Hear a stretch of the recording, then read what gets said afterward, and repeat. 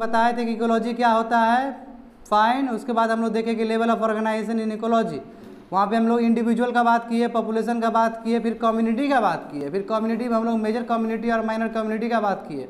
और इसमें हम लोग जाने कि माइनर कम्युनिटी किस तरह मेजर कम्युनिटी पे डिपेंडेंट है. करेक्ट yes, उसके बाद हम लोग देखे इकोसिस्टम का बात किए. इकोसिस्टम ने हमने बहुत तरह का देखा. बायोटिक और अबायोटिक का किस तरह इंटरलिंक होगा ये सभी कुछ देख चुके हैं. वहाँ पर फिर अब अबायोटिक कंपोनेंट्स के बारे में काफ़ी कुछ ज़िक्र हुआ था एनर्जी ज़िक्र हुआ था रेनफॉल ज़िक्र हुआ था टेम्परेचर एटमोसफियर सबस्टेटम मटेरियल्स ठीक है? लैटिट्यूड और अल्टीट्यूड के बारे में भी ज़िक्र किए थे, है ना? इक्वेटर का भी बताए थे उसमें। बायोटिक फैक्टर्स बायोटिक फैक्टर जान ही रहे हो कि प्राइमरी प्रोड्यूसर यानी कि ऑटोट्रॉप्स के बारे में बताए थे जो इनऑर्गेनिक को ऑर्गेनिक में कन्वर्ट करता है, ठीक है? और किस तरह ट्रॉपिक लेवल से ऊपर तक जाता है एनर्जी तो यहीं पे पिरामिड का भी कॉन्सेप्ट था पिरामिड जो नंबर हो सकता है, जो बायोमास हो सकता है और जो एनर्जी फ्लो वाला हो सकता है। यही यहाँ पे ज़िक्र हुआ था, हालाँकि सेकंड चैप्टर में भी इस बात का फिर ज़िक्र होगा। तो प्राइमरी प्रोड्यूसर थे कंज्यूमर थे, उसके बाद माइक्रो कंज्यूमर्स है। माइक्रो कंज्यूमर देखा, क्या देखा हम लोगों ने? कि वही first trophic level second trophic level और थर्ड ट्रॉपिक लेवल ये है मैक्रो अब माइक्रो में क्या किए थे? डिकम्पोजर्स है, ठीक है? इसी में हम लोग बात किए थे डेट्रीवोर्ड्स का बात किए थे अर्थोपोरोड्स का बात किए थे नेमाटाउट्स का बात किए थे। किए थे कि नहीं किए थे? क्लास नाइन का रेफरेंस भी दिए थे इसमें। करेक्ट उसके बाद नेचुरल इकोसिस्टम में टेरेस्ट्रियल और इकोटिक का बात किए थे। तो टेरेस्ट्रियल क्या है? फॉरेस्ट ग्रासलैंड डेजर्ट है। इधर फ्रेश वाटर सलाइन और मरीन है। इसी में हम लोग स्टोरी को भी लेके आए थे। मैंग्रोव्स के बारे में भी एग्ज़ाम्पल दिए थे इसके बारे में। उसके बाद हम देखते हैं इकोसिस्टम में क्या क्या मिलता है तो हम जानते हैं कि एटमोस्फेरिक रेगुलेशन में बहुत काम आता है न्यूट्रन साइकिलिंग में बहुत बड़ा रोल है, इसका सोयल फर्टिलिटी को मेंटेन करने में बहुत इंपॉर्टेंट रोल है, ठीक है? पॉलिनेशन ऑफ़ प्लांट्स में इसका बहुत बड़ा इंपॉर्टेंट रोल है, और कल्चरल और एस्थेटिक बेनिफिट्स भी देते हैं, ये। उसके बाद किए थे इकोटोन का बात किए थे। इकोटोन भी बताया गया आपको कि टू और मोर डाइवर्स इकोसिस्टम का ये जंक्शन हो सकता है। ये जंक्शन छोटा भी हो सकता है, बड़ा भी हो सकता है। और इसका एग्ज़ाम्पल क्या हो सकता है? ग्रासलैंड भी हो सकता है स्टोरी भी हो सकता है और रिवर बैंक भी हो सकता है। रिवर बैंक बहुत ही कंड्यूसिव एटमोसफियर है, जगह है उसके लिए बर्ड्स के लिए। तो ये ज़्यादा बर्ड्स के लिए लुभावना होता है। ये भी बताए थे कल, समझे?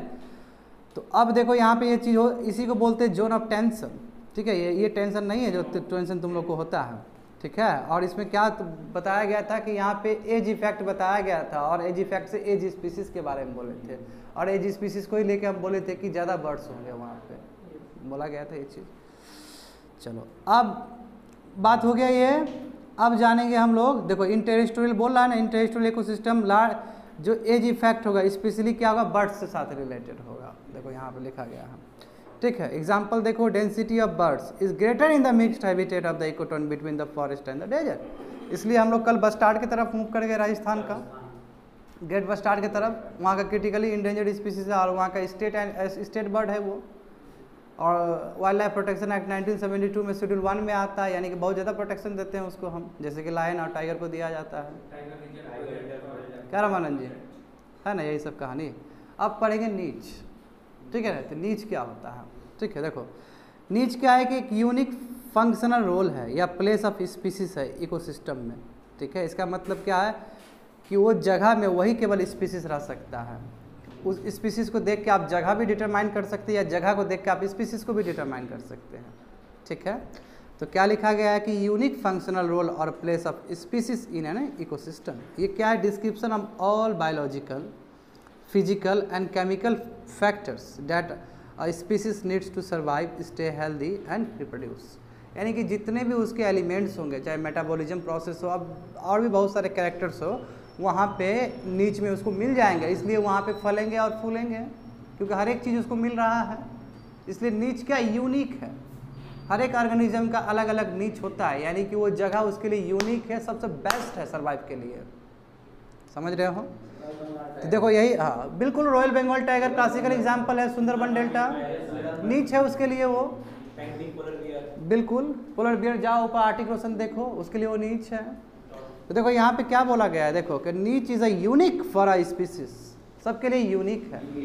यूनिक मतलब क्या खास, उसके लिए ही बना है। Which means no two species have the exact identical niche. इसका मतलब दो स्पीसीज का नहीं हो सकता, कोई एक ही स्पीसीज का वो पर्टिकुलर जगह उसके लिए बेस्ट हो सकता है। ठीक है? कंगारू तो जगह देख के होता है ना कंगारू के ऑस्ट्रेलिया में हर एक जगह मिलेगा।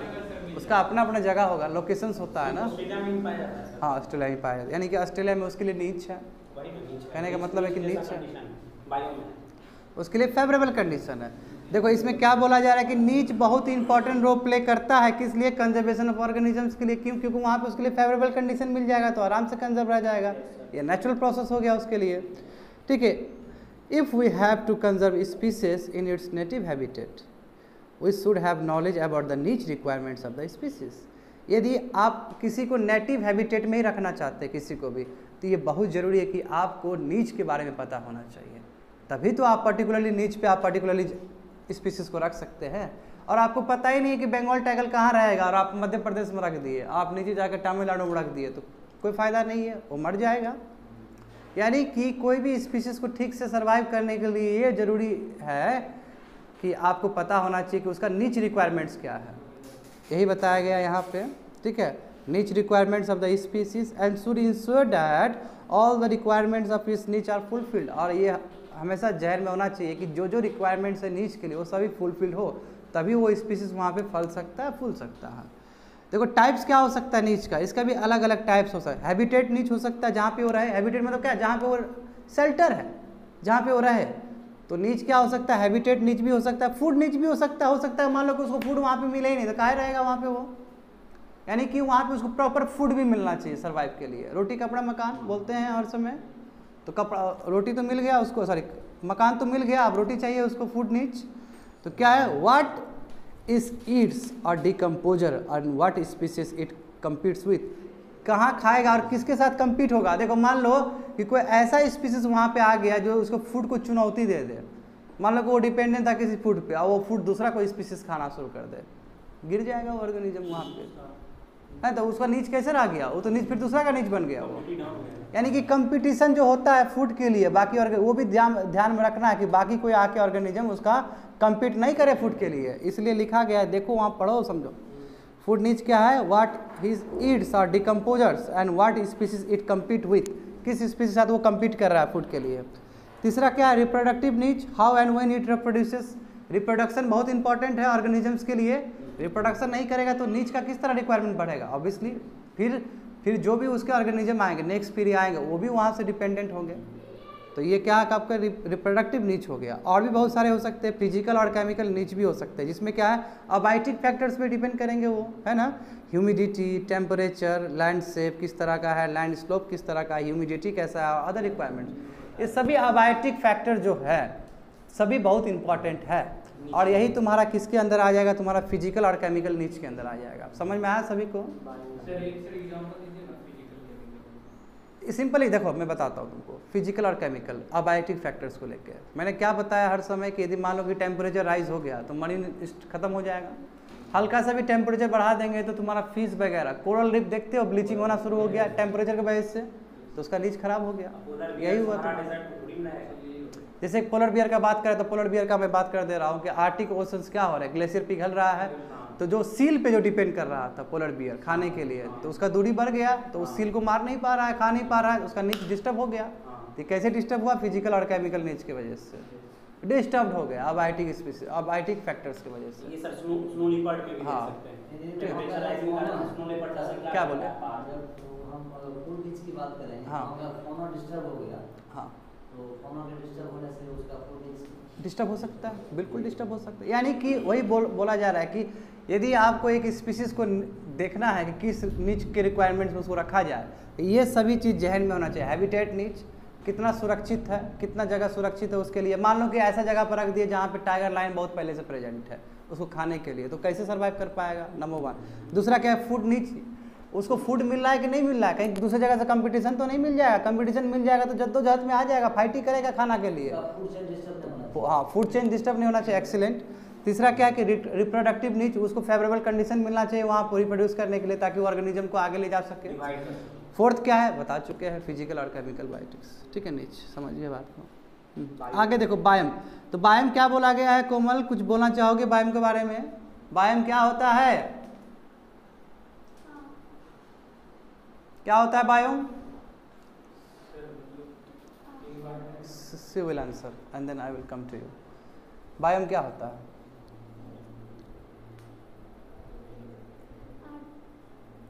याद करो।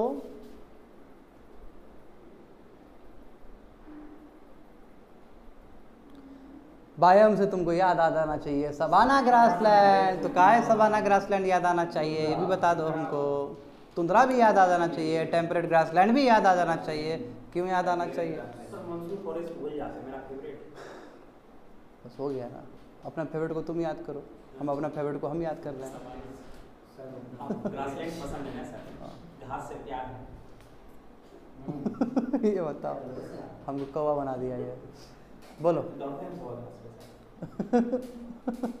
तुम कुछ से कुछ लिंक करो नहीं? बताओ क्या होगा? स्पेशली आइडेंटिकल उसको मिले अबायोटिक फैक्टर्स बायोफैक्टिक बायोटिक फैक्टर्स उसको आइडेंटिकल मिले वहाँ पे। इसलिए जो हम लोग देखते हैं सवाना ग्रासलैंड में तो वहाँ पे तुम्हारा जो यूनाइटेड स्टेट्स का एरिया है, ठीक है, वही सेम चीज़ तुमको यहाँ अफ्रीका में भी मिलेगा और वही चीज़ तुमको ऑस्ट्रेलिया में मिलेगा। यानी कि जो स्पीसीज सेम सेम स्पीसीज भी हो गए वेजिटेशन भी सेम होंगे। इसीलिए तो वो खास है बायोम है। बायोम मतलब ये आइडेंटिकल वेजिटेशन हो सकता है। ह्यूमिडिटी हो सकता है अबायोटिक हो सकता है बायोटिक हो सकता है। ठीक है तो वही देखो आप समझो बात को कि बायोम डिस्ट्रीब्यूशन देखो वहाँ पिरामिड दिया गया है देखो पिरामिड वहाँ दिया गया है देखो पिरामिड के थ्रू भी समझ सकते हो इस चीज़ को कि बायोम डिस्ट्रीब्यूशन है based on temperature and precipitation है कि नहीं है? प्रिसिपिटेशन और टेम्परेचर फिर किस पे डिपेंड करेगा? लैटिट्यूड पे डिपेंड करेगा। जितना लैटिट्यूड ऊपर जाएगा उतना ही कम होगा। और जितना ही इक्वेटर के पास रहेगा, उतना ही बारिश होगा, उतना ही रेनफॉल होगा वहाँ पे। है कि नहीं है? उतना ही गर्म होगा। तो पूरे जस्ट बात किए थे, उतना ही इवापोरेशन होगा, उतना ही कंडेंसेशन होगा। तो सनलाइट भी है, वहाँ पे यही है। इससे क्या होगा? डाइवर्सिटी क्रिएट होगा। आइडेंटिकल जोन बनेगा वो। ट्रॉपिक्स का बात करते हैं। हाँ? क्या बोले? बिल्कुल बिल्कुल, बाया में देखिए। अब इसमें देखिए क्या लिखा गया, कैसे देखिए? देखिए, यहाँ पे देखिए ग्राफ समझिए। ड्राई से देखिए वेट की तरफ़ जा रहे हैं। ड्राई मतलब क्या होता है? सूखा। वेट मतलब क्या था? भीगा हुआ। ठीक है? तो कैसे आगे बढ़ रहा है? देखो वार्म डेजर्ट क्या हुआ? पूरी तरह से सूखा है। आगे थोड़ा सा और उसमें आ गया वेट वाला नेचर आ गया। तो टॉप ग्रासलैंड बन गया। ग्रासलैंड के लिए उसको मॉइस्चर चाहिए। है कि नहीं, रमानंद जी? सवाना हुआ। फिर क्या ट्रॉपिकल डिसीडियस फॉरेस्ट की तरफ़ मूव कर दिया। ट्रॉपिकल रेन फॉरेस्ट रेन क्यों? क्योंकि बहुत ज़्यादा बिगा हुआ है वो बार बार मिल रहा है। और ऐसा बात होगा तो दौड़ते हुए मेरा दिमाग कहाँ जाना चाहिए? मेघालय के साइड में जाना चाहिए जहाँ पे चीरा पूंजी याद आ जाना चाहिए हमको। है कि नहीं? क्यों? क्योंकि यहाँ पे वेट है भीगा हुआ है ये। आप देखिए ये किसके डिपेंड करता है? ये आपका प्रिसिपिटेशन टेम्परेचर के तरफ़ देखिए ऊपर देखो पिरामिड को। क्या है? वार्म से कोल्ड तो जानते हैं कि वार्म डेजर्ट क्या गर्म होगा? है ना टेम्परेचर उससे ऊपर बढ़िए कोल्ड डेजर्ट है। उससे ऊपर बढ़िए तो कौन सा है आपका? बोरियल फॉरेस्ट है तुंद्रा है पोलर है कोल्ड होते चला जा रहा है। समझ रहे हो? बोरियल क्या है? फॉरेस्ट है। ठीक है। बाहर रुको रुको, नीचे आएगा सेकेंड इधर आएगा। तब समझना। ठीक है, समझ के बस डिस्ट्रीब्यूशन समझो। ठीक है ना? बायम का डिस देखो तो बायम किसके ऊपर डिपेंड कर रहा है बाबू? तुम लोग का एक प्रेसिपिटेशन पे डिपेंड कर रहा है, एक टेम्परेचर पे डिपेंड कर रहा है। ग्राफ यही बता रहा है। तो कैसे प्रेसिपिटेशन पे डिपेंड कर रहा है? ड्राई से कैसे वेट की तरफ़ मूव कर रहा है? और टेम्परेचर पे कैसे डिपेंड कर रहा है? कैसे वार्म से कोल्ड जा रहा है? समझ में आया वो ग्राफ पिरामिड वाला? अब देखो, जो क्वेश्चंस कर रहे हो, आप देखो। ठीक है? आप समझो बात को। कि जो टेरेस्ट्रियल पार्ट है बायोस्फीयर का, वो बहुत सारे चीज़ में डिवाइडेड होते हैं। तो जानते हो कि जो स्ट्रक्चरल एंड फंक्शनल यूनिट है बायोस्फीयर का, वो क्या है? इकोसिस्टम है। बायोम नहीं है। बायोम बड़ा पार्ट है इकोसिस्टम का। है कि नहीं कोमल? पता है कि नहीं है? स्ट्रक्चरल एंड फंक्शनल क्या है? इकोसिस्टम है। इकोसिस्टम के ऊपर बायोम है। तो बायोम भी एक भाग हुआ कि नहीं हुआ बायोस्फीयर नीचे से ऊपर पहुँच रहे हैं। हमारा तो वही बोला कि जो टेरेस्ट्रियल पार्ट है बायोस्फीयर का, वो बहुत सारे रीजन्स में डिवाइडेड होंगे। और वही रीजन्स बायोम्स कहलाएँगे। ठीक है? जो कि अलग अलग क्या? बता चुके पहले क्लाइमेट वेजिटेशन होगा एनिमल लाइफ होगा वहाँ पे और अलग अलग सॉइल टाइप्स होंगे। यानी कि बायोटिक बायोटिक फैक्टर्स आइडेंटिकल होंगे। ठीक है? No two biomes are alike दो टू बायोम्स कभी भी अलाइक नहीं हो सकते हैं। अलाइक हुआ तो काहे का बायोम बायोम मतलब होता है आइडेंटिकल ठीक है? दो बायोम कभी भी एक एक सम नहीं हो सकता है। अब देखो climate determines the boundaries of a biome and abundance of plant and animals ठीक है forest in each of them the most important climatic factor are the temperature and precipitation बात हो चुका है। ठीक है तो क्लाइमेट डिटरमाइन करता है कि किस तरह का बाउंड्री होगा, कितना बाउंड्री होगा इसका। क्यों? मान लो कि एक जगह बारिश हो रहा है, इस जगह बारिश ही नहीं हुआ तो वो दूसरा बायोम बन गया। यानी कि वहाँ पे इक्वल होना चाहिए। हर एक चीज़ उसको इक्वल मिलना चाहिए ह्यूमिडिटी मिलना चाहिए प्रिसिपिटेशन मिलना चाहिए वार्म कंडीशन मिलना चाहिए। वेजिटेशन मिलना चाहिए सेम आइडेंटिकल होना चाहिए। यदि वो डिसकंटिन्यू हो गया तो कहेगा बायम का पार्ट रहेगा, नहीं रहेगा। अब इसका क्लासिकल एग्जांपल देखो नेम ऑफ़ बायम आप देखो तुंद्रा तुंद्रा जानते हो तुम लोग? तुंद्रा आएगा तो क्या दिमाग, कहाँ जाना चाहिए तुंद्रा से? हाँ।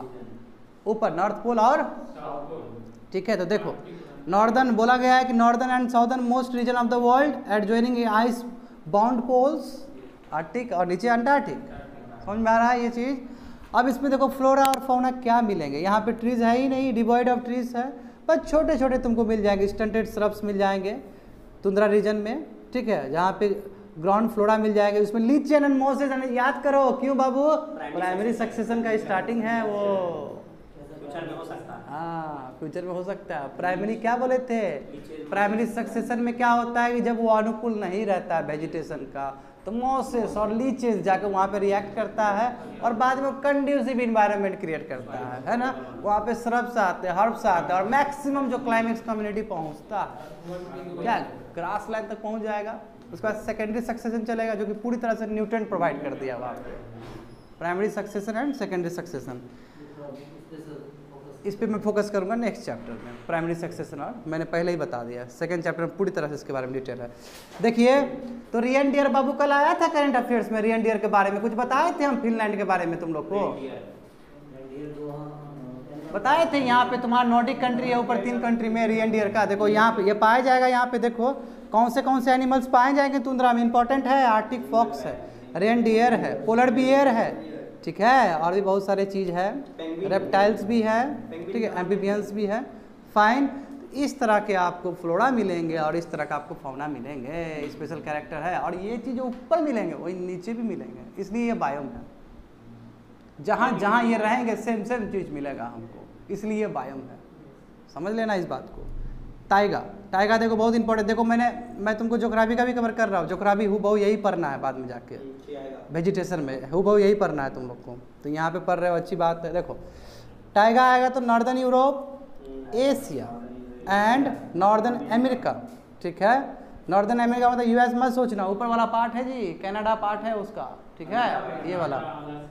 अलास्का वाला पार्ट बिल्कुल। Temperate temperate temperature than tundra tundra से तो ज़ाहिर सी बात है टेम्परेचर थोड़ा ज़्यादा बेटर रहेगा, है ना? ऑल्सो नोन यही बोले थे, कोई पूछा था हमको बोरियल फॉरेस्ट तो हम बोले थे कि आएगा थोड़ी देर में, यही है बोरियल फॉरेस्ट ठीक है ना? हाँ ठीक है ना? यही बोरियल फॉरेस्ट है। तो ताइगा बोलते हैं। ताइगा को क्या बोलते हैं अस्पार बोरियल फॉरेस्ट ठीक है? यहाँ पे देखो फ्लोरा और फोना किस टाइप के होंगे? जो डोमिनेटिंग जो वेजिटेशन होंगे यही तुम्हारा कन्फेरस एवरग्रीन होंगे फॉरेस्ट वगैरह होंगे इसमें तुम्हारा पाइन आएगा फीड्स आएगा। पाइन फीड्स आएगा तो याद करो फ्रिक्शन से फॉरेस्ट फायर होना शुरू हो जाता है। हिमाचल प्रदेश उत्तराखंड याद करिए करंट अफेयर्स कितना रहा है ये? 2016-17 में। आग लग जाती है बहुत बड़ा बात हो। क्यों? क्योंकि आपका ये जो ब्रिटिश ब्रिटिश है वहाँ पे लाके उसने रखा था वो बनाया था। उसका स्ट्रैटेजी कारण था। समझ गए बात को? हाँ पाइन एंड फ़िश अब देखो फौना ये क्या हो गया सभी? क्या हो गया ये? फ्लोरा हो गए। अब फौना देखो एनिमल्स देखो तो बर्ड्स है अलग अलग बर्ड्स हो गए। यहाँ पे कार्निवरस टाइप के भी होंगे, ठीक है? यहाँ पे और पूमा हो जाएँगे। साइबेरियन टाइगर दौड़ते हुए हमको दिखाओ तो बाबू साइबेरिया कहाँ पे है? तुम बताओ जरा। दौड़ते हुए। दिखना चाहिए तुम्हारा एफर्ट हाँ ठीक है? ये वाला रीजन है। ये वाला रीजन क्या होगा टाइगर रीजन हो जाएगा। अच्छा बाबू, थोड़ा सा वो देख के सबको मैप बताओ तो। कि ये टाइगर कौन सा कौन सा रीजन में आ जाएगा वहाँ पे देख के बताओ सबको ध्यान देना यहाँ पे मैप में ध्यान देना तुम लोग जो है नॉर्दर्न अमेरिका का जो नॉर्दर्न पार्ट है कनाडा अलास्का हो गया। ठीक है। हाँ फिर यूरोप का ये हो गया ऊपर नॉर्दर्न पार्ट फिर रसिया का नॉर्दर्न ठीक है, ठीक है, गया ये सब किया रीजन में आ गया ठीक चला जाएगा। समझ गए? ये ऊपर वाला खींच लेगा पूरा। फाइन अब नीचे उतरिए। ठीक है टेम्परेट डेसिडियस फॉरेस्ट ये क्या है? Extend over central and southern Europe ठीक है सेंट्रल और साउदर्न यूरोप तक चला जाएगा। ईस्टर्न नॉर्थ अमेरिका होगा वेस्टर्न चाइना हो सकता है जापान होगा न्यूजीलैंड होगा। अब नीचे भी होगा रिप्लिका करेगा इसको। ठीक है? और यहाँ पे जानते हैं कि मॉडरेट एवरेज टेम्परेचर होगा और रेनफॉल बहुत ज़्यादा होगा क्योंकि ट्रॉपिक से ऊपर है तो बिल्कुल रेनफॉल यहाँ पे भी होगा as compare to tundra and your taiga समझ रहे हो बात को? दिखा दो सभी को कि कहाँ कहाँ पे होगा। देख लो सभी। रीजन देख लो यहाँ मैप में देखना। ये ईस्टर्न ईस्टर्न आ गया ईस्टर्न नॉर्थ अमेरिका मतलब ये पार्ट होगा ईस्टर्न फिर उसके बाद सेंट्रल सेंट्रल और सदर्न यूरोप सेंट्रल मतलब बीच का और सदर्न यूरोप होगा. फिर उसके बाद जो हो गया वेस्ट वेस्टर्न चाइना मतलब ये रीजन होगा वेस्टर्न देख लो अच्छे से हाँ। नॉर्दर्न चाइना हो जाएगा। वेस्टर्न हाँ नॉर्दर्न भी बोल सकते हैं हल्का। फिर उसके बाद जापान और न्यूजीलैंड की तरफ़ इस तरफ़ थोड़ा सा। हाँ। फिर नीचे नीचे न्यूजीलैंड गया कि नहीं गया? नीचे नीचे भी रेप्लिका खींचो। न्यूजीलैंड न्यूजीलैंड हाँ ठीक है समझ गए? और यहाँ पे रेनफॉल होगा। समझ में आया? देख लिए ना मैप को? ये मैप दिखा रहे हैं। दिमाग में रख लेना कि कहाँ कहाँ होता है टेम्परेट डिसीडियस अब इसमें देखो फ्लोरा क्या होगा? तो बीच होंगे ओक होंगे चेरी होंगे। चेरी बनेगा यहाँ पे? चेरी? क्या बोले? नीचे भी रेप्लिका होगा इसका। ऊपर है है तो। जैसे टेम्परेट जोन ट्रॉपिकल जोन इधर भी है इधर भी है। हाँ। टेम्परेट ऊपर है तो नीचे में ना? होगा वो। है ऑब्वियसली होगा सेम चीज़ है। सेम सेम ठीक है। समझ गए? मगर एक जगह है देखिए। हाँ ये बहुत अच्छा बात किया सुनिए, सुनिए। हाँ आ जाएगा हाँ। देखिए यहाँ पे बहुत अच्छा है। सबका ध्यान है यहाँ पे देखो यहाँ पे सोचो थोड़ा सा अलग है ऊपर और नीचे में। इक्वेटर से नीचे जाओगे तो ज़्यादा तुमको पानी मिलेगा। और इक्वेटर से ऊपर ज़्यादा जाओगे तो तुमको लैंड मिलेगा। इसलिए कई जगह तुमको ये आइडेंटिकल नहीं मिलता है। कारण यही कारण है कि ताइगा तुम्हारे नीचे नहीं मिला है। बात समझा? ताइगा नीचे नहीं मिला। है। क्योंकि उड़ के चला जाएगा भाप और इसको टाइम लगता है एब्जॉर्ब करने में। ठीक है ना? है। देखो ओसन को गर्म होने में भी बहुत समय लगता है। ठीक है ना? और ठंडा होने में भी। समय लगता है। इसीलिए इतना मानसून उनसून देखते हो तुम। लोग हाँ वेरिएशन ज़्यादा। ठीक है देखो सुनो। टेम्परेट डिसीडियस फॉरेस्ट समझ लिए। देव ने बहुत अच्छे से एक्सप्लेन कर दिया है मैप को। अब देखो इसमें क्या कि फ्लोरा क्या है? इसमें बीच हो सकते ओक हो सकते हैं मैपल हो सकते हैं चेरी हो सकते हैं करेक्ट एनिमल्स यहाँ पे तुम्हारा वर्टिब्रेट्स एनिमल्स और इनवर्टिब्रेट्स भी हो सकते हैं, जिसका वर्टिब्रेट समझते हो। रीढ़ का हड्डी हो, जिसका नहीं हो डेट इज़ कल इनवर्टिब्रेट यानी दोनों टाइप के मिल सकते हैं। और देखो they are generally the most productive agricultural areas of the earth earth का सबसे बेस्ट होना द बेस्ट मिलेगा क्यों? आ गया तुम्हारा कनाडा और यूएस से अब बेस्ट है लैंड वो। ठीक है ना, वहाँ पे गेहूँ है व्हीट है। ठीक है ना? पूरा वर्ल्ड में सुपेरियर व्हीट मिलता है वहाँ पे। तो बात समझ लीजिए टेम्परेट टेम्परेट डिसीडियस फॉरेस्ट का बहुत बड़ा योगदान है। अबंडेंट रेनफॉल है देखो कभी सोचियो अबंडेंट रेनफॉल है यहाँ पे भी। क्यों?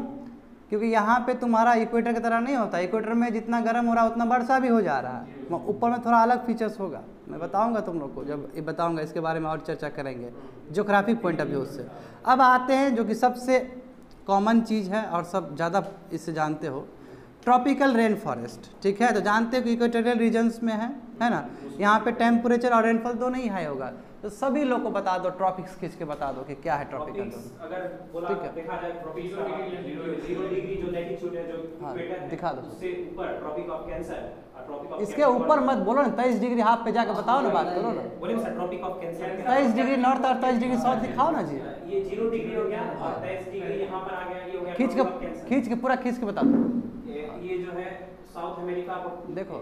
नॉर्थ अमेरिका को मैक्सिको टच कर रहा है अफ्रीका को बीच बीच काट रहा है थोड़ा सा इंडिया को इंडिया से जो गुजरात और राजस्थान से गुजरता है तो ये तुम गलत खींच रहे हो तेईस डिग्री देखो तेईस डिग्री जाओ ऊपर जाओ अच्छे से दिखाओ तेईस डिग्री जो है यहाँ से मैक्सिको को काट रहा है फिर नॉर्दर्न अफ्रीका को काट रहा है फिर इंडिया को यहाँ से गुजरात की बिल्कुल। काट रहा हाँ, है हाँ। काटते हुए जो निकल जा रहा है ट्रॉपिक ऑफ़ कैंसर फिर नीचे ठीक है। 23 एंड हाफ़ डिग्री.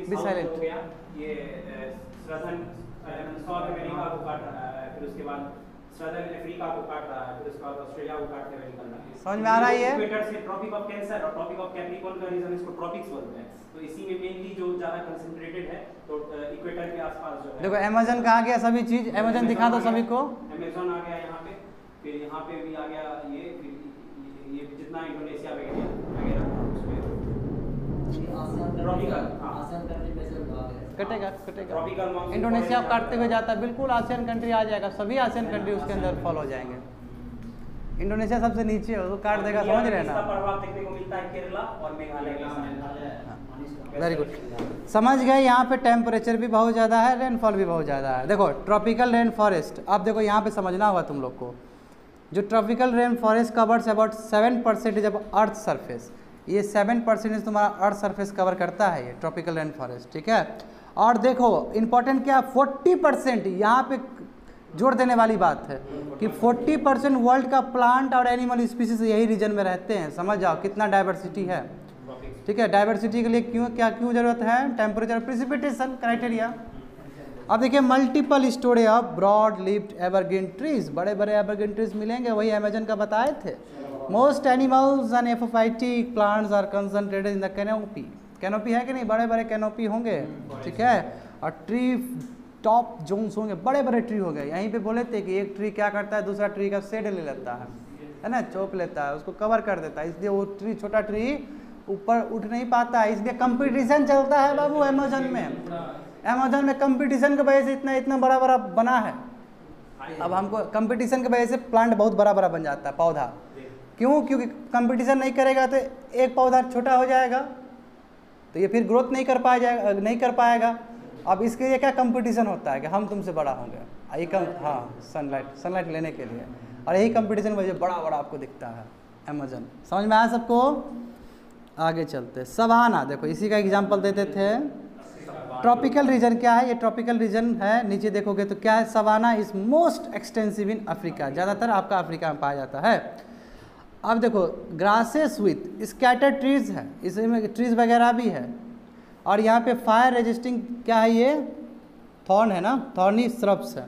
ठीक है छोटे छोटे वो हैं। यहाँ पे भी आपके ग्रेट डाइवर्सिटी है। ग्रेजर्स के ब्राउजर्स के जैसे कि एंटीलॉप्स क्या है ये डियर का एक प्रजाति है? बुफेलोस है जेब्रास है। क्या बोले? ब्राउजर्स कहाँ पे लिखा है? ब्राउजर्स। है? हाँ हाँ। ये बिल्कुल बिल्कुल डियर का जो प्रजाति जो भी है। ठीक है ये बुफेलोस हो गया जीब्रास हो गया ठीक है एलिफेंट्स हो गए राइनोसरस हो गए और कार्निवरस में चीता हो जाएगा हाइना हो जाएगा मैंगूस हो जाएगा और भी रोडेंट्स वगैरह हो जाएँगे। ये सवाना का। और वर्ल्ड में सवाना दूसरे जगह पे भी है इसमें तो अफ्रीका लिख दिया दूसरे जगह पे भी है बिल्कुल मैं हमेशा एग्जांपल देता हूँ। यूएस में भी है ऑस्ट्रेलिया में भी है मगर ज़्यादा जो वर्ल्ड में जहाँ पे कवर हुआ है वो अफ्रीका में कवर हुआ है। है ठीक है। है बिल्कुल तीनों लाइन अब बिल्कुल एक आपका अफ्रीका ही एक कंटिनेंट है जहाँ पे तीनों लाइन पास करता है। आई होप पता होना चाहिए तुम लोग को। इक्वेटर भी है कैप्रिकन भी है कैंसर भी है। करेक्ट अब चलते हैं हम लोग ग्रासलैंड की तरफ़। तो ग्रासलैंड देखो नॉर्थ अमेरिका जाओगे फिर से विज़िट करोगे। नॉर्थ अमेरिका है यूक्रेन है ठीक है? और temperate condition with low rainfall ठीक है इसमें क्या है? रेनफॉल लो होगा। तो ग्रासेस डोमिनेट द वेजिटेशन इसलिए तो ग्रासलैंड बोले क्लाइमेक्स कम्युनिटी क्या है? यहाँ पे ग्रासलैंड है ग्रास है। तो जान रहे हो कि पिछले बार भी बताए थे कि क्लाइमेक्स कम्युनिटी के हिसाब से तुम्हारा वेजिटेशन डिपेंड करता है, नाम क्या रखे उसका? तो यहाँ पे जो तुम्हारा कम्युनिटी है, उसमें सबसे ज़्यादा प्रभाव किसका है? ग्रासलैंड का। इसलिए इस वेजिटेशन को हम क्या बोल देते हैं? ग्रासलैंड बोल सकते हैं, ठीक है? तो यही ग्रासेस डोमिनेट द वेजिटेशन और यहाँ पे जो फाउना होंगे विसोन्स हो गए ठीक है, एंटीलप हो गए भी डियर प्रजाति का ही होता है कैटल हो गए इस टाइप के मिल जाएँगे तुमको, होल्स हो जाएँगे, और भी बहुत तरह का नेस्टिंग बर्ड्स वगैरह मिल जाएगा। अब आते हैं डेजर्ट पे तो डेजर्ट देखो continental interiors with very low and sporadic rainfall बहुत कम होगा low humid with low humidity ठीक है the days are very hot but night are very cold जानते हो ये डेजर्ट का फीचर्स है? दिन बहुत गर्म होगा, रात बहुत ठंडा होगा। चला जाता है? बिल्कुल। देखो फ्लोरा जो है ये क्या है? डॉट रेजिस्टेंस है डॉट को रोक सकता है रख सकता है तभी तो वहाँ पे है। जैसे कैक्टस हो गया है ना? कैक्टस हो गया इफो इफोर वाइस हो गया और भी बहुत सारा फौना देखो फौना क्या हो सकता है? रेप्टाइल्स हो सकता है। रेप्टाइल्स बिल्कुल रेप्टाइल्स मिलता है डेजर्ट में है ना? स्मॉल मैमल्स मिलते हैं बर्ड्स वगैरह बर्ड्स आया तो याद कर लो तुम फिर से बस स्टार्ट को ग्रेट बस स्टार्ट को याद कर लो। समझ गए बात को? तो ये क्या हो गया? सारा टेरेस्ट्रियल जोन का हो ये क्या हो गया? टेरिस्टोरियल जोन का हो गया जी। तो समझ रहे ये बायम है यूनिक है सब जगह उसी टाइप का होगा वेजिटेशन इसलिए फ्लोरा और फाउना एक साथ में रख के बता दिए है। और कंट्री भी अलग अलग कंट्रियाँ है इसका मतलब फ्लोरा एंड फाउना हर कंट्री में वही मिल रहा है जो उसका वेजिटेशन का पार्ट है। इसलिए वो बायम है। हो है। आइडेंटिकल हाँ। हाँ उस जोन में उस जोन कर सकते उस बेल्ट में कर सकते हाँ ठीक है? अब ये बताया टेरिस्टोरियल। टेरिस्टोरियल है लैंड पे है? ना we look towards aquatic zones अब हम लोग एक्वेटिक जोन्स के बारे में देखेंगे। ठीक है, इसमें आप लोग का और कवर हो जाएगा स्टोरीज वगैरह। देखिए aquatic systems are not called biomes aquatic system को हम लोग बायोम नहीं कह सकते हैं। इसको क्या कहते हैं हम लोग? However they are divided into distinct life zones अलग अलग जोन्स में डिवाइडेड होंगे। ठीक है? और क्या है with regions of relatively distinct plants and animal form अलग अलग एनिमल्स होंगे अलग अलग प्लांट्स होंगे, किस तरह फॉर्म डिवाइड हो सकता है कोई फ्रेश वाटर वाला हो हो सकता है कोई मरीन वाला हो, उसके हिसाब से वहाँ पे प्लांट्स और एनिमल्स अलग अलग होंगे। ठीक है डिपेंड करता है कि आपको क्या मिल रहा है वहाँ पे। देखो, बोला गया यहाँ पे कि जो मेजर डिफरेंस इक्वेटिक जोन्स में, वो डिपेंड करता है सेलिनिटी कितना आपका एन प्रेजेंट है वहाँ पे। ठीक है? लेवल ऑफ़ डिजॉल्व न्यूट्रिएंट्स, कितना न्यूट्रिएंट्स वहाँ पे प्रेजेंट है, उस हिसाब से वहाँ पे फ्लोरा और फौना को प्रभावित करेगा वो।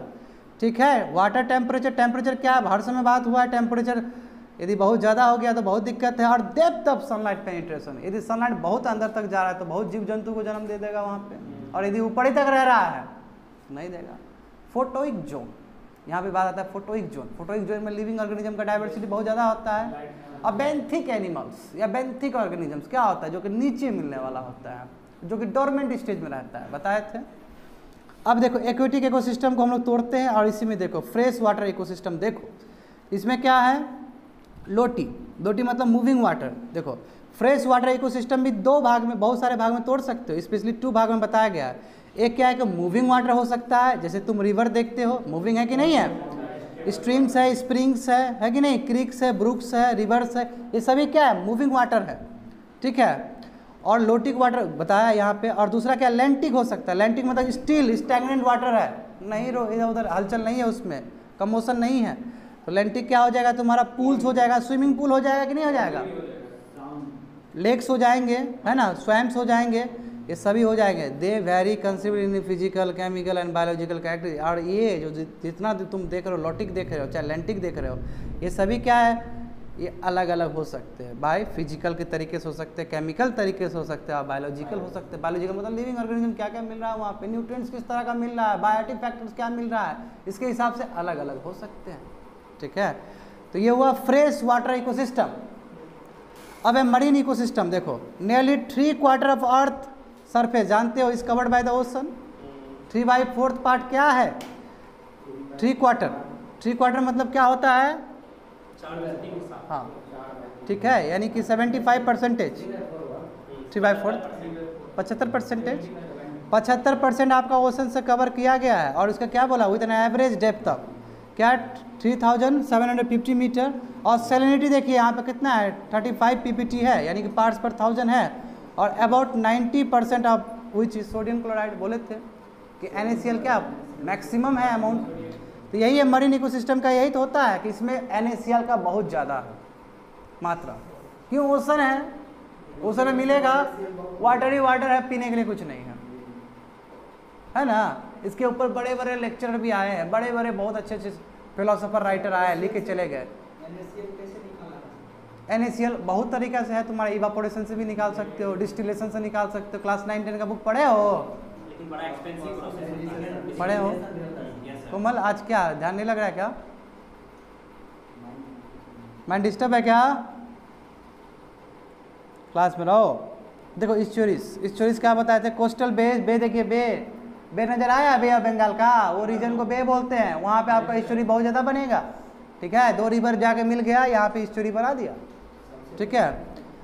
रिवर माउथ रिवर माउथ समझते हो? जहाँ पे वो लास्ट में जाकर मिल, मिल जाता है डेल्टा वेरी गुड डेल्टा जहाँ बनता है। Tidal marshes from the estuaries ठीक है? इन स्टोरी देखो fresh water from the rivers बताए थे? रिवर से लेके आया फ्रेश वाटर और ओशन पे जा दे दिया। ये भी एक तरह से इकोटोन हो गया वहाँ पे। तो देखिए क्या बोला जा रहा है कि इस चोरी में क्या होगा कि fresh water from rivers meet ocean water and two are mixed by the action of tide tide से मिक्स कर देगा आएगा यहाँ का पानी वाटर का पानी वहाँ छोड़ देगा। ठीक है? तो यानी कि जो हम लोग को इस चोरी में जो हम लोग को मिलेगा वाटर वो क्या होगा? ना ही बहुत ज़्यादा घर वो होगा खड़ा होगा। ठीक है दोनों का मिक्सर होगा। एकदम सेलिनिटी वाला भी नहीं होगा और एकदम प्योर भी नहीं होगा। मिक्स होगा। इसी को बोलते हैं ब्रैकिस वाटर हाँ brackish water B R A C K I S H brackish water कहा जाता है ईश्वरी वाटर को। ब्रैकिस वाटर क्या होता है? सेलिनिटी ओशन के इतना भी नहीं है। और रिवर के इतना भी बेस्ट नहीं है क्वालिटी ये दोनों का मिक्स है। क्योंकि रिवर का तो सबसे बेस्ट है। जो पानी बहते चला जाएगा, वो क्या अपने आप को फ़िल्टर कर लेगा वो? और स्टेगनेंट हो गया तो गंदा हो गया। समझ गए? अब देखो, यही बात कहा गया, देखो स्टोरी आज highly productive as compare to adjacent river और सी क्यों? इकोटोन है। इकोटोन है ना जी? इकोटोन क्या होगा? हमेशा हाईली प्रोडक्टिव होगा। क्यों? स्पीसीज बहुत डिपेंड करेगा। यहीं पे एज इफ़ेक्ट आ जाएगा। यहीं पे एज स्पीसीज का बात आ जाएगा जंक्शन हाइपरटेंशन का बात आ जाएगा टेंशन का बात आ जाएगा जोन ऑफ़ टेंशन का बात आ जाएगा। ठीक है? और उसी तरह इक्विटी इकोसिस्टम में कोरल रीफ भी आ जाएँगे। ठीक है? इसका डिस्क्रिप्शन नहीं है मैंग्रोव भी हो सकता है। कोरल लीफ क्या है? कोरल लीफ का ज़िक्र है तो इंडिया में भी कोरल लीफ है, पता है तुम लोग को? पता होना चाहिए। क्या गल्फ ऑफ़ मनार में है कि नहीं है? हाँ गुजरात के उसमें है कि नहीं है। ठीक है, हल्का में है मगर। है ना? अब देखिए मैंग्रोव मैंग्रोव जानते हैं मैंग्रोव आएगा तो दिमाग डायरेक्ट कहाँ पे हिट करेगा आसपा हाँ सुंदरबन डेल्टा ठीक है ये भी क्या है इक्विटी इकोसिस्टम ही है ना इकोटोनी है ना जी। अब ये खत्म हो गया हम लोग का इकोसिस्टम अब लास्ट टॉपिक क्या था? बायोस्फीयर तो बायोस्फीयर देखो यहाँ पे कितना अच्छा बना दिया है गोला। एटमोस्फियर है लिथोस्फियर है हाइड्रोस्फियर है तीनों का संगम है तो क्या है? बायोस्फीयर है। अब बायोस्फीयर यदि जीव जंतु रहना है डाइवर्सिटी क्रिएट करना है तो तीनों का समावेश होना होगा, है ना? क्योंकि वह एटमॉस्फेयर से हम लोग को चाहिए न्यूट्रन साइकिल ऑक्सीजन चाहिए, न्यूट्रन साइकिल चाहिए लिथोस्फीयर जहाँ पे सरवाइव करना चाहिए उसको शेल्टर चाहिए उसको, है ना? हाइड्रोस्फीयर जानते हो वाटर क्या है? सबके लिए इम्पोर्टेंट है। देखो, आप समझो बात को। बायोस्फीयर क्या है? पार्ट ऑफ़ अर्थ है, जहाँ पे लाइफ एग्जिस्ट होते हैं। बायोस्फीयर्स क्या है? ये हाईली इंटीग्रेटेड और इंटरेक्टिंग जोन है। जहाँ पे एटमॉस्फेयर यानी कि एयर हाइड्रोस्फियर यानी कि वाटर और लिथोस्फियर लैंड तीनों क्या होते हैं? मिक्स होते हैं। ठीक है? संगम होता है। बिल्कुल संगम होता है। ठीक है? ये नैरो लेयर है surface of the earth and if we visualize to this the size of apple the biosphere would like a thick as its skin यदि तुम सोचो कि क्या है आपका यदि अर्थ एक क्या है? एप्पल है। तो ऊपर का जो लेयर देखते हो ना वही आपका बायोस्फीयर है। एग्जांपल अच्छा नहीं देता है लेकिन ठीक है। एग्ज़ाम्पल ठीक है नहीं दिया अच्छा तो कोई बात नहीं है। हम दे देते फ़र्स्ट क्लास तुम्हारा तो रहने दो बाबू। तुम तो प्लित कर देगा। जो है वो भी भूल जाएगा आदमी। पागल बना देगा तुम तो। ठीक है ना? तुम्हारा एग्ज़ाम्पल छोड़ो यार। तुम अपना एग्ज़ाम्पल रखो मनवी में। लाइफ इन द बायोस्फीयर देखो लाइफ क्या है? बायोस्फीयर में एबंडेंट है। कितना देखो इसका बहुत इंपॉर्टेंट है ये मीटर जानना। देखो लाइफ जो है बायोस्फीयर में, जो कि इंटरेक्टिंग जोन है, ज़्यादा कहाँ पाया था? 200 मीटर से लेके below the surface of the ocean and above 600 meters above the sea level कोई भी चीज़ नापते तो अबव द सी लेवल नापते हैं ना? जैसे तुम्हारा ये भी है तो ये कम है, बहुत कम है अबव द सी लेवल अब फिर हाँ साठ सत्तर है। 45 या 50 होगा आसपास। 45 और 50 आसपास होगा, ठीक है ना?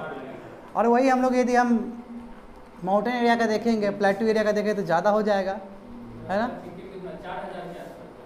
वो काफ़ी ऊपर है हाई जाए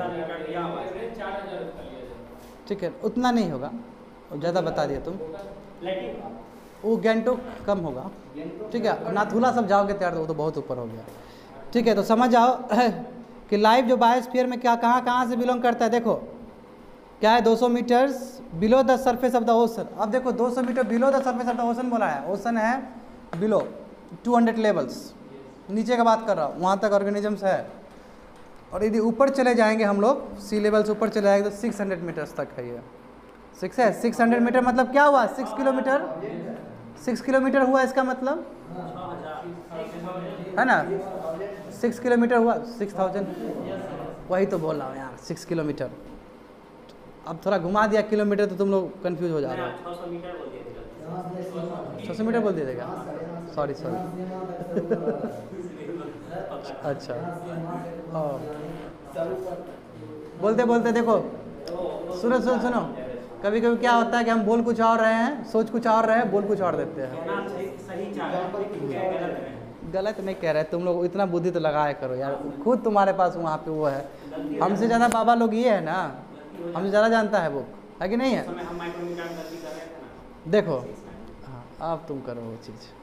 देखो biosphere is absent at the extreme of the north and south poles जानते हो एक्सट्रीम क्योंकि वहाँ पे नहीं मिलेगा उस तरह का उस कंडीशन है ना? The highest mountain and the deepest ocean बहुत ऊपर भी जाओगे तो नहीं मिलेगा तुमको, बहुत नीचे भी जाओगे तो नहीं मिलेगा तुमको। क्योंकि हॉस्टाइल कंडीशन है, जो कि सपोर्ट नहीं करेगा आपके लाइफ को करेक्ट ओकेजनली देखो, यहीं पे है तुम्हारा spores of fungi and bacteria do occur at great height ये रहते हैं, मगर देखो, यही बोल रहे थे, ये डोरमेंट स्टेज में रहते हैं। यही बार बार हम बोल रहे थे कि डोरमेंट स्टेज में रहते हैं एक्टिव स्टेज में नहीं रहते हैं ये लोग। मतलब एक्टिव स्टेज में नहीं रहना। है हाइपरनेशन में चला जाता है। हाइपरनेशन में बोलना गलत बात होगा। हाइपरनेशन गलत है। इनएक्टिव स्टेज है। इनएक्टिव। रिएक्ट नहीं जैसे तुम अभी कर रहे हो ना मेटाबॉलिक प्रोसेस चल रहा है वो एकदम डोरमेंट रहेगा। कछुआ नहीं है। वो हालाँकि इनएक्टिव स्टेट में आता है प्रोटेक्शन के लिए। ठीक है ना? मगर ये नहीं कहोगे कि कछुआ डोरमेंट लाइफ है उसके अंदर। ऐसा नहीं बोल सकते हो। चलो, देखो। देखो the energy required for the life within the biosphere come from the sun जानते हो कि sun primary source of energy है है ना? The nutrient necessary for living organisms जो न्यूट्रिएंट चाहिए, जानते हो कि हम लोग कितना न्यूट्रिएंट साइकिल का बात की है? वो एयर से मिलेंगे वाटर से और सोइल से मिलेंगे। The same chemicals are recycle over again and again है ना? बार बार होगा यही चीज़। साइकिल से होगा।